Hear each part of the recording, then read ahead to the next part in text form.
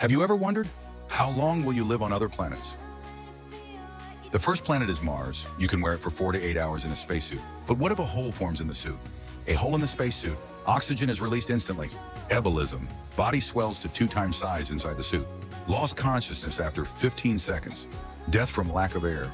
Entering Jupiter, it doesn't have a solid surface like other planets. Falling at 180,000 kilometers per hour, giant lightning. Pressure increases, suit crushing like a soda can. Survival time, less than three seconds. Arrival on Venus. Temp 462 degrees Celsius, 864 degrees Fahrenheit. Pressure crushes, heat melts, acid dissolves all at once. Survival time, less than one second. Titan, Saturn's moon. Temperature minus 179 degrees Celsius. Atmosphere, dense nitrogen. Flash freezing. Heat is sucked out instantly by dense air. Survival time, less than 30 seconds frozen solid. Mercury, direct solar radiation.